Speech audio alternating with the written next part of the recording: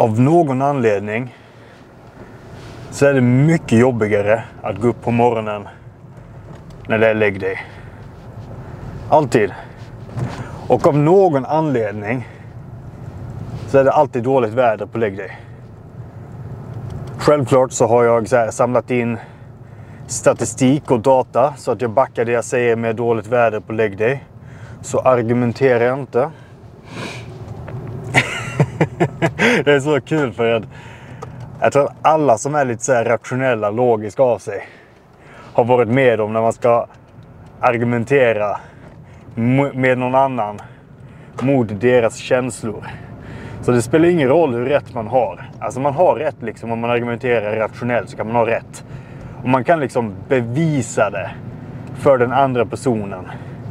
Men ändå i slutändan så vinner den andra personens känslor. och det är så det är idag. det regnar alltid på lägg dig. Motbevisa mig mannen. det regnar alltid på lägg dig. Jävla skit. Ja, ja. Um, så lägg dig för mig är ju en hatkärlek. Och jag vet om att det har varit liksom trendigt att säga att man gillar lägg dig. Men jag har liksom inte kunnat ljuga till mig själv eller lura mig själv till att säga att jag gillar leg-day. Det var fett på den tiden när det handlade om att lyfta tunga vikter. Det var lite damp och det var lite... Det var liksom fett. Men nu för tiden, det är liksom inget jäkla ego i det. Det handlar ju bara om att tortera benen och få dem att kvida och få dem att göra ont. Och nästan varje lägg så får jag typ huvudvärk halvvägs in.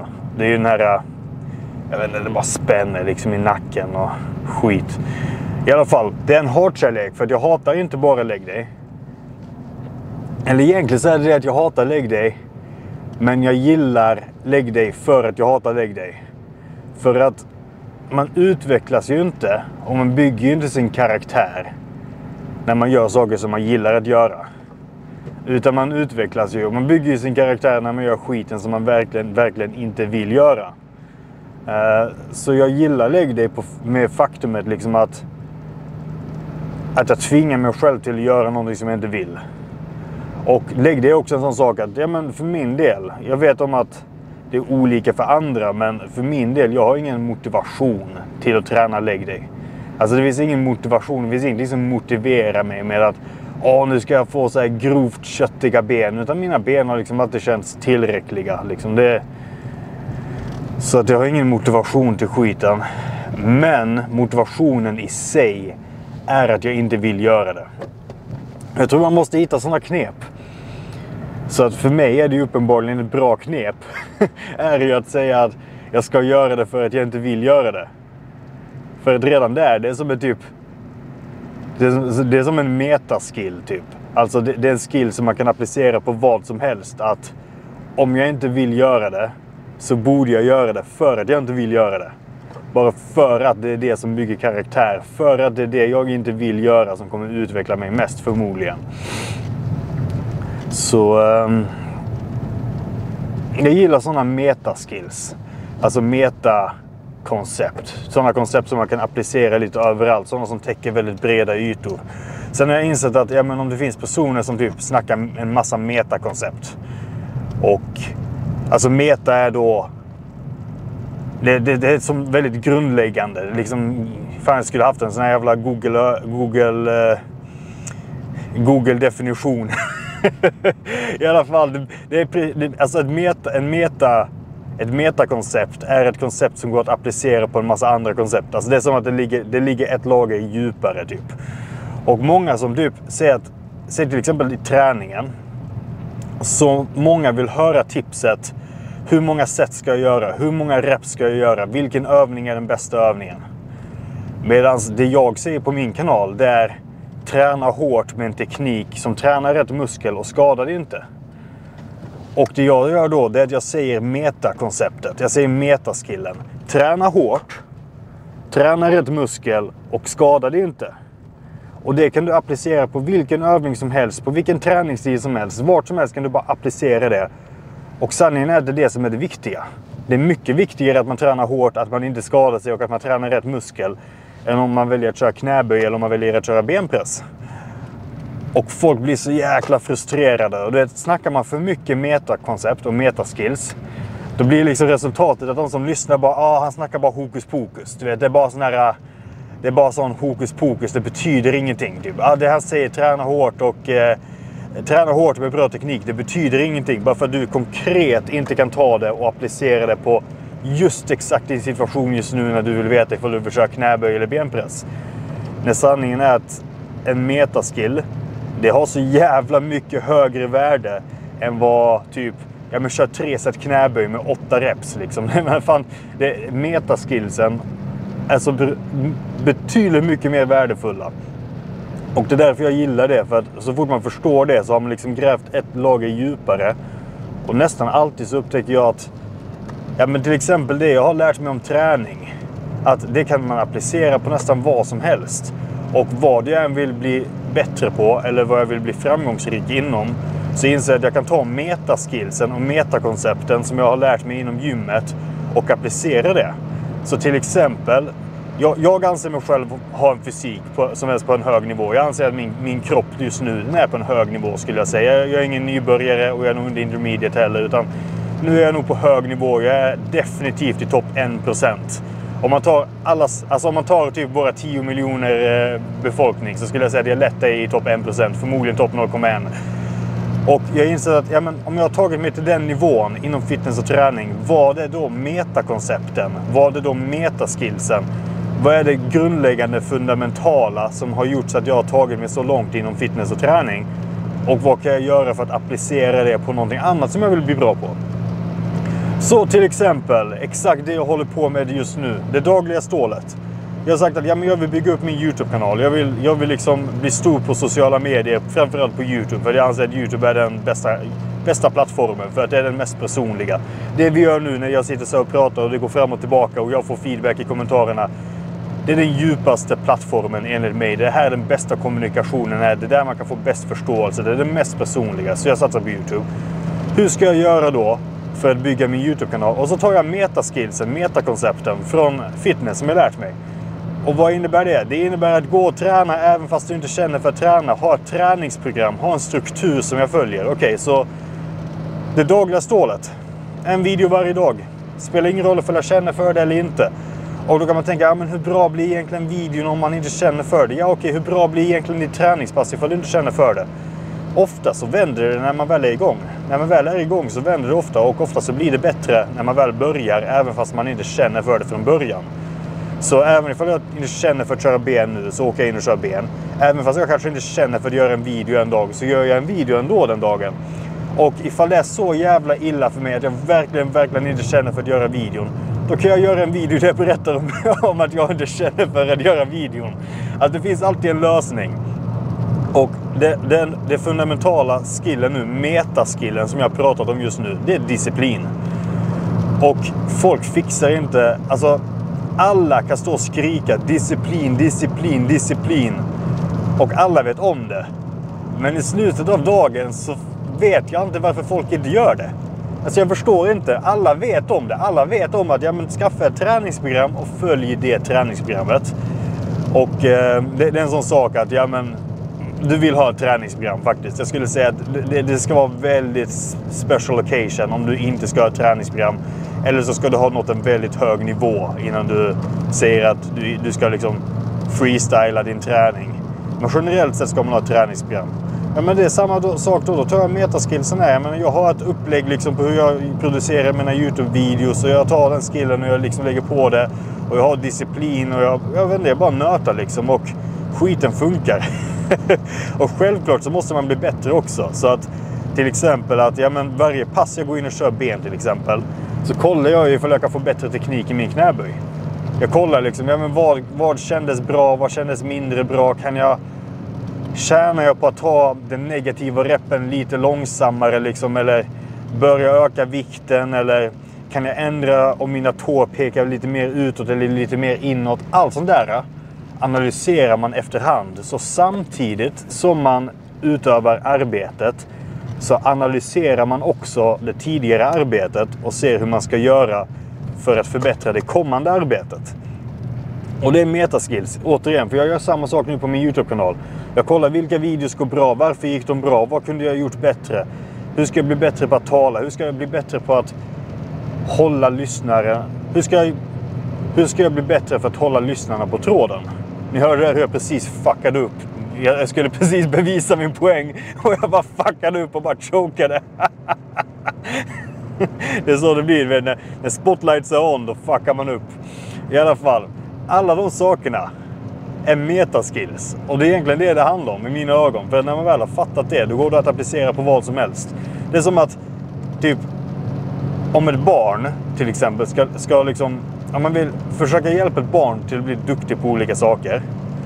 Det är betydligt mycket viktigare att barnet gör sitt absolut bästa och kämpar inom vilken sport eller vilken fritidsaktivitet eller vilket skolämne som helst. Att barnet bara gör sitt absolut bästa. Än att barnet hittar ett ämne som barnet har talang inom. Eller att du vet, det blir lätt. Liksom. Jag säga att det, det, är ett barn som har talang för någonting men barnet har inte hittat sin talang utan den kämpar på med andra saker som kanske är mer average eller kanske till och med sämre än average. Men metaskillen då som barnet utvecklar över tiden är att barnet blir duktigt på att anstränga sig och blir duktigt på att kämpa och blir duktigt på att inte ge upp. Vilket när barnet sen hittar sin talang, om barnet då kan ta med det att man inte ger upp, man fortsätter kämpa. Om barnet tar med det då och applicerar det på någonting där det finns talang så kommer det gå sjukt mycket bättre än om barnet bara testar någonting som det har talang i. Lallar runt, det här var skitlätt, jag är skitgrym och så fort det kommer motstånd så bara ah, det här var inte för mig liksom. det här var inte för mig. Vilket, och, och barnet liksom inte tar vara på sin talang för att barnet har aldrig lärt sig att kämpa. Och dessutom så finns det någonting, det är ett rätt coolt koncept. Tydligen, eller detta är någonting jag upptäckt, är att om man har blivit bra på en sak, säg vad som helst, säg att vi säger att jag blev duktig på musik när jag höll på med musik, jag kämpade med det. Och sen så håller jag på med skateboard och sen blir jag bra på skateboard för jag kämpar på det jävligt länge. Med tiden, när man blir duktig på olika saker, så blir man duktig på att bli duktig på nya saker. Alltså det innebär att man lär sig skiten snabbare. Vad det än är, oavsett om man har talang eller inte för det, så lär man sig det snabbare när man tidigare har kämpat med olika saker och blivit duktig på det. Så för varje sak man blir duktig på så blir det lättare att bli duktig på en ny sak. Så att någonstans bara att kämpa hårt och att aldrig ge upp och att fortsätta även när det är jobbigt över tiden. Alltså i början så kommer det kännas fucking tungt, men över tiden så är det så jävla mycket mer värt än att hitta någonting man har talang i. Så det ligger fan någonting i det att vissa människor, det är sådana människor som man stör sig på. Fy fan vad man stör sig på sådana människor.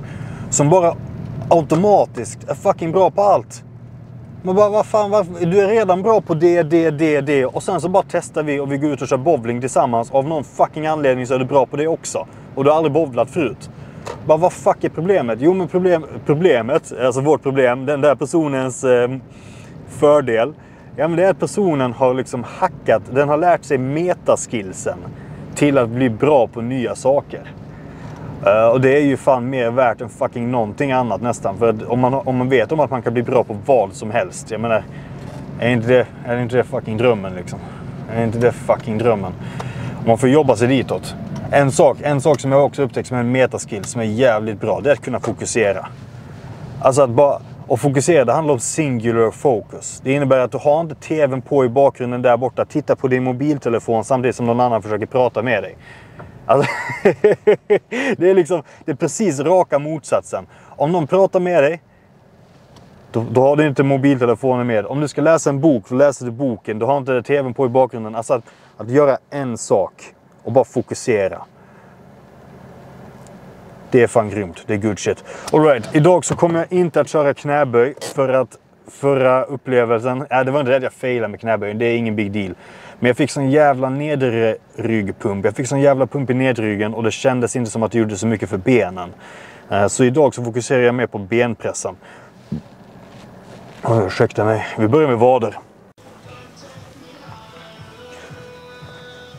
Om det är så att man inte känner någon typ av leg day-ångest överhuvudtaget. Ingen ångest överhuvudtaget eller stress över att det är ben. Så finns det en risk.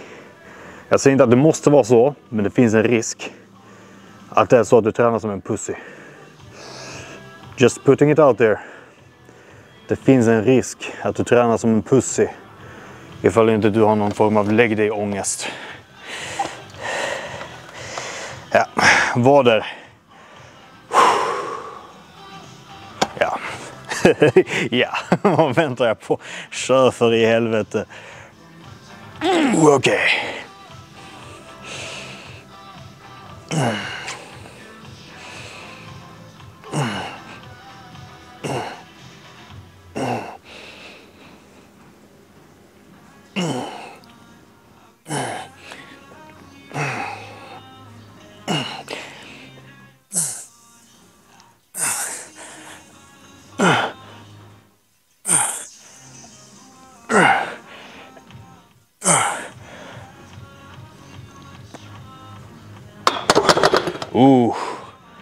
skitnice.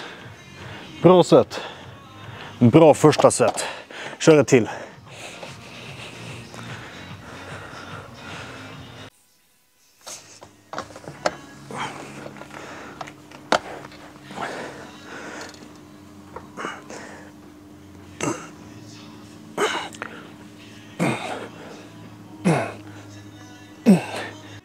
En till.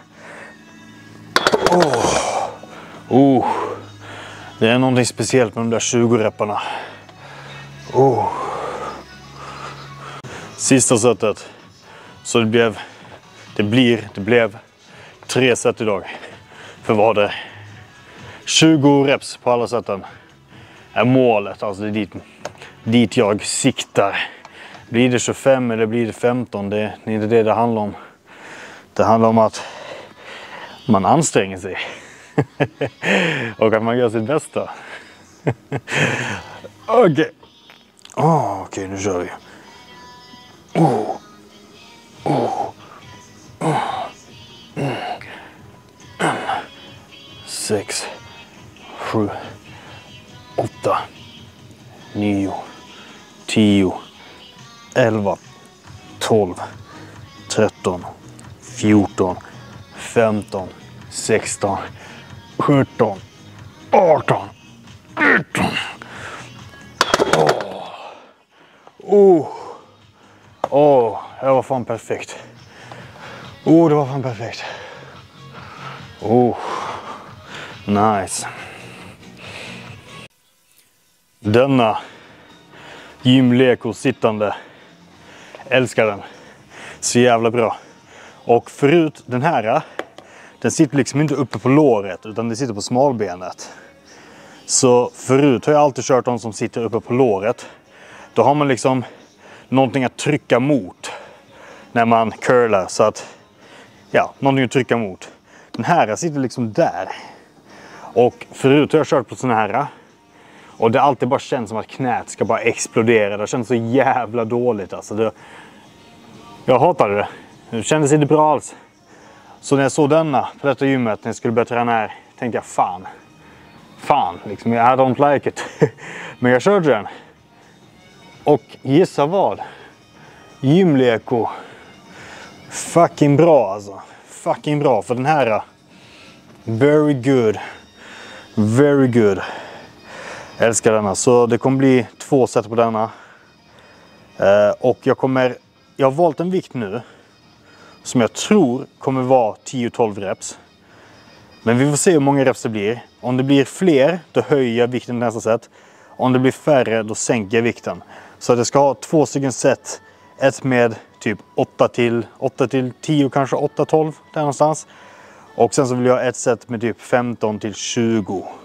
Um, ehm, och vilken ordning de här seten kommer i, alltså det, det är inte... Jag, jag vet precis hur folk argumenterar och resonerar att man vill ha den mesta, största prestationen på det tunga sättet. Men i min erfarenhet, alltså det spelar fan mindre roll alltså. Det spelar fan mindre roll. Ja.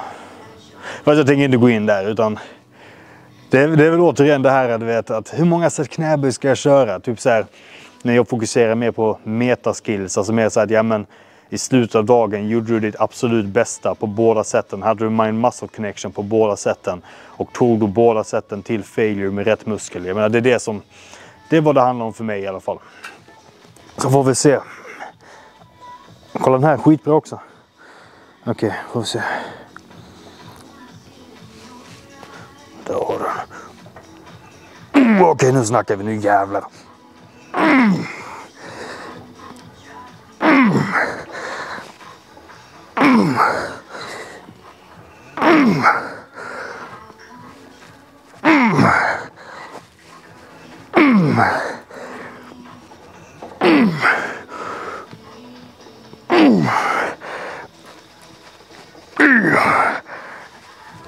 Tio. Elva. Tolv. Tretton. Hela nu. Hela repen går inte. Åh. Oh. Uh. Well, tekniskt sett, enligt någons definition, så var det här då förbi failure.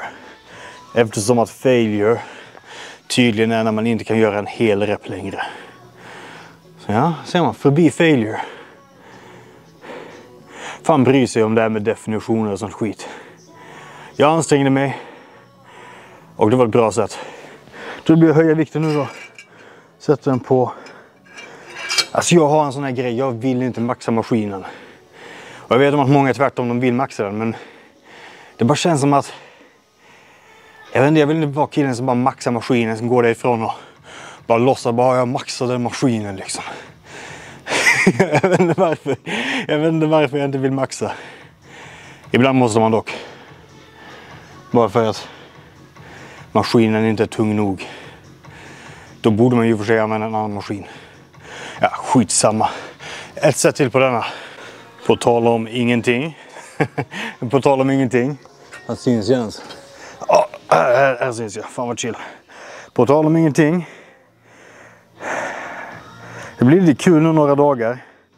För att jag ska klippa mig. Det är alltid en sån liten nice man bara känner sig lite mer clean efter man har klippt sig. Så det är nice. Det räknas ändå på något sätt så räknas det ändå som en sån nice grej att man klipper sig. Sen ska jag på lägenhetsvisning idag. Så det ska bli kul. Försöka komma på strategier på hur jag ska skrämma bort de andra till att tacka nej till lägenheten så jag får den. Och sen, jag ska inte spoila det, jag ska inte säga vad det är. Men jag ska göra någonting jävligt kul om två dagar. Nej, tre dagar blir det. Tre dagar. Så om tre dagar så kommer det ut en Youtube-video här på kanalen med lite gött kul som händer. Alltså jag har cravat det så fucking länge nu. Och så jävla mycket. Och cravings, mina cravings började typ öka för det för typ en månad sedan. Så började cravingsen öka som fan. Och jag har tur, jag har lite, lite kontakt där på den fronten. Så jag har tur så att jag, eh, cravingarna tog över. Jag besökte min kontakt, Therese. Och hon sa jajamensan, det löser vi. Så uh, very nice. Det, det, där kanske lät väldigt fel. det där kanske lät väldigt fel. I quit jäpen. Ni får se. Ni får se om tre dagar vad det är som kommer ut på kanalen. it's a porno bro. no man, it's not. It's not. Okej, okay, nu kör vi. What the fuck? Okej. Okay. Okej. Okay. Dags att ta i mannen.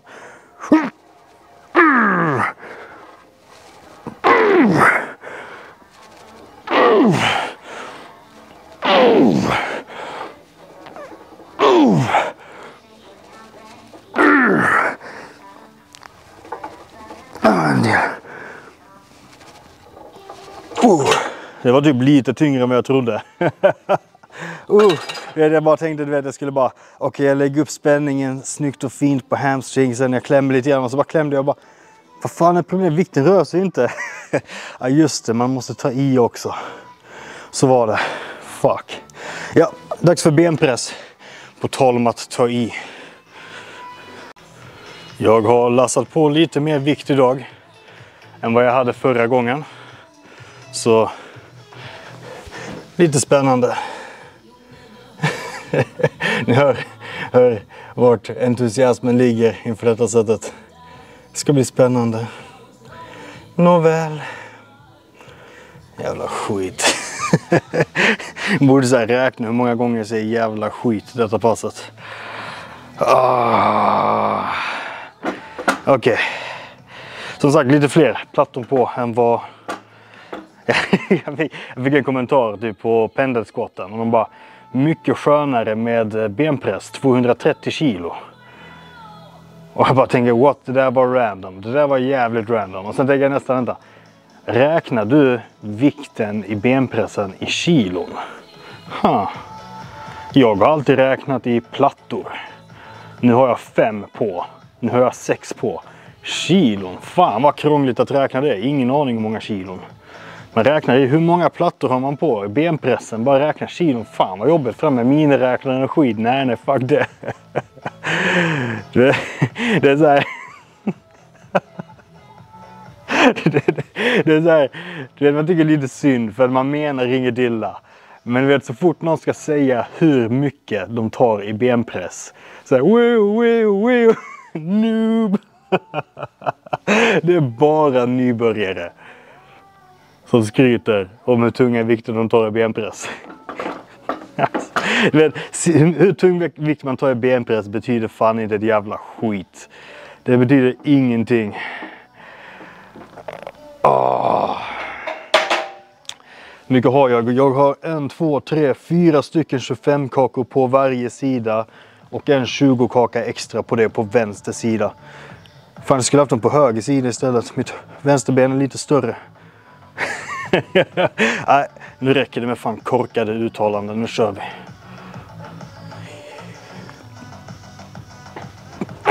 Okej, nu snackar vi.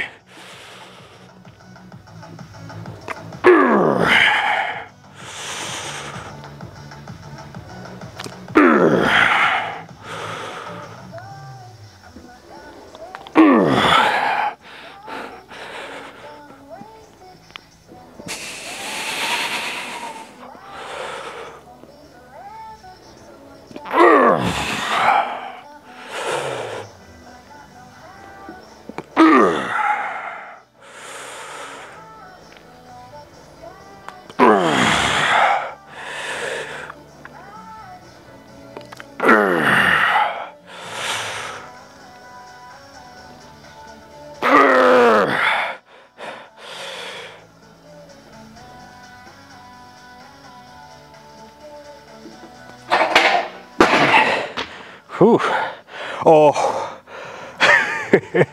oh. Nice. Nice. Jag tror jag drar av 20-plattan och en 25 från ena sidan till nästa set. Alright, så set nummer två på denna. Och jag vill säga att jag ska sikta på 20 reps. Realistiskt 15. ja. Realistiskt 15 reps, sikta mot 20. Jag kanske kan öka tempot och nå 20. Jag får se. Jag börjar köra. Om allting känns 100% rätt i knäna och i benen, då testar jag öka tempot. Men om någonting känns lite så här om vi säger så här, det känns som att om jag trycker lite fel så kommer det göra ont i knät. Då håller jag tempot lagom sakta. Oh, mina ben nu gör ont. Förra sättet var fan ett bra sätt. Oh, Okej. Okay. Oh. Dags att förstora ben. Yeah buddy. Never skip a leg day. Mm.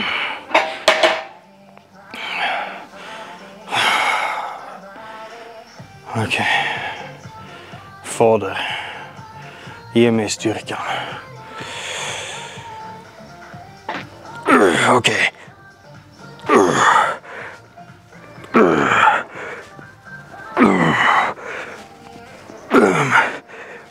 Sex.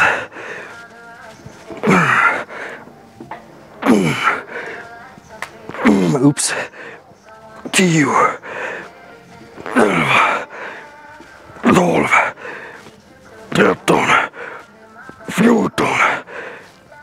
femton, sexton, sjutton, arton,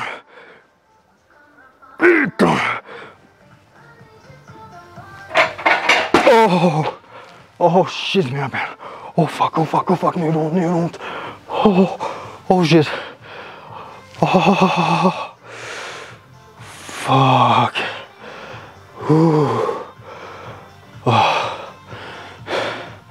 För er som aldrig har kört högreps som detta. Det här var högreps med constant tension. Så jag släppte aldrig spänningen. När man kör på det sättet så är det inte ovanligt att det gör mer ont i benen efter sättet än vad det gjorde under sättet. Åh! Oh. Okej. Okay. Dags att kravla mig upp och stänga av kameran. Okej, okay. så ni hör att jag fortfarande flåsar. Därför att jag inte har vilat. För att mina ben håller på att explodera av pumpen. Jag tänker att jag kan ta det ett steg längre genom att inte vila och gå rakt över på bensparken. Fuck alltså. Varför gör jag detta? Oh.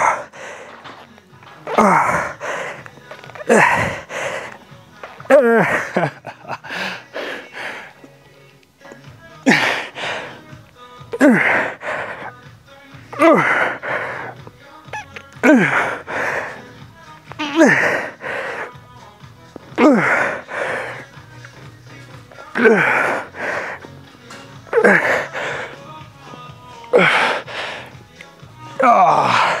Oh shit alltså.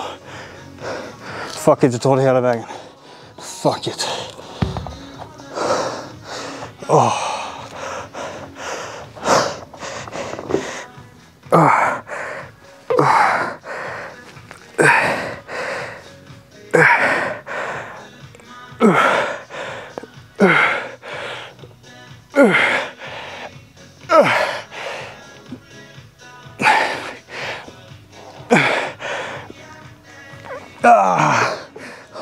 Oh shit, mina fucking ben. Oh fuck. Oh. Okej. Okay. 30 sekunder. Sen kom dessa ha studs. Åh oh. oh shit, jag kom huvudvärken. Ja, fan. Ja, den skulle komma så. Den skulle komma. Oh, nu börjar studset komma också. Fast det gör inte så jävla ont. Vilken jävla lyx. Bra pump utan smärta. What? Jag kan säga, jag vet inte vad detta syns. Men alltså, det är bra jävla studs i benen nu kan jag säga. Åh, oh. oh, okej nu kommer smärtan. Åh, oh, nu kommer smärtan. Åh, okej. Okay. Åh. Okej, okay, jag tror jag ska gå runt lite grann. Alltså låt mig säga, åh. Åh, låt mig säga, aj. Åh. Åh. Jesus. Fuck. Nej, inget mer då. Jag kan säga så här. Det går inte att åstadkomma mer än vad jag redan har gjort. Allt annat här efter det är fan bara skräpvolym. Pumpen är maxad. Tunga vikter har lyfts. That's it mannen, that's it. Det går inte mer. Tack för att du tittar på det dagliga stålet. Vi syns i nästa. Alltså det blir bara värre. Det har gått typ tre minuter. Det blir bara värre. Det gör bara mer och mer ont. Alltså fuck. Fuck. Det syns.